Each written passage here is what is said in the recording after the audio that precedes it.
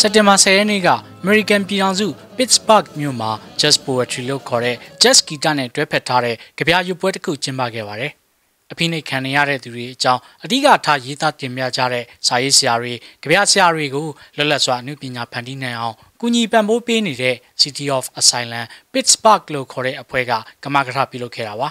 ။ကျမတို့တွေလည်းຫນွေဦးတဖန်ရောက်လာခြင်းကိုမျှော်၍ရာသီချမ်းဆောင်းများကိုဖျက်ဆီးနေကြရသည်ပင်။ အနှောက်အယှက်အမျိုးမျိုးကြောင့်ပျက်စီးသွားရသောပန်းတွေနေရာမှာအစားထိုးဖို့ပန်းပင်အစ်စ်တွေစိုက်နေကြရသည်ပဲတကဘာလုံးကလူသားတွေအပါဝင်ကျမတို့အထူးသဖြင့်ကျမတို့မြန်မာနိုင်ငံကပြည်သူပြည်သားတွေကိုကျမတို့ရဲ့ຫນွေဦးဆိုတာတနေ့တနေ့တော့ရောက်လာအောင်ပါပါကျမတို့ဘဝရဲ့ကြမ်းတမ်းတဲ့အဲခက်ခဲတဲ့ဆောင်းရာသီဆိုတာတသက်လုံးမရှိပါဘူးเนาะဒီဆောင်းရာသီကိုကြံ့ကြံ့ခံဖြတ်တန်းနိုင်ရင်ကျမတို့တွေ မျော်လင့်နေတဲ့ຫນွေဦးရာသီတနေ့ရောက်လာမှာပါ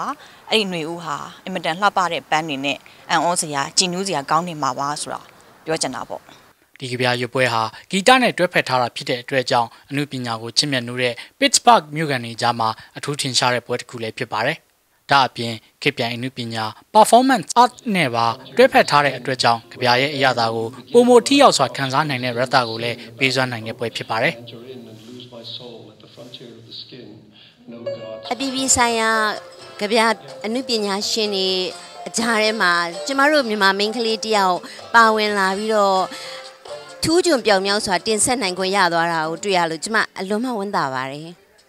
အမေရိကန်နိုင်ငံကနာမည်ကျော်ကြပြဆရာနှစ်ဦးဖြစ်တဲ့ Oliver Lake, Sonia Sanchez နဲ့အတူမြန်မာပြည်ကစာရေးဆရာမကြပြဆရာမတူဦးဖြစ်တဲ့ခက်မှာ Venezuela, Finland, Russia, Palestine ကကြပြဆရာတွေလည်းဒီ Jazz Poetry ကြပြရုပ်ပွဲမှာပါဝင်ခဲ့ပါတယ်ခင်ဗျာကျွန်တော်အောင်မှာ Pittsburgh, Pennsylvania နဲ့သတင်းပေးပို့နေတာပါ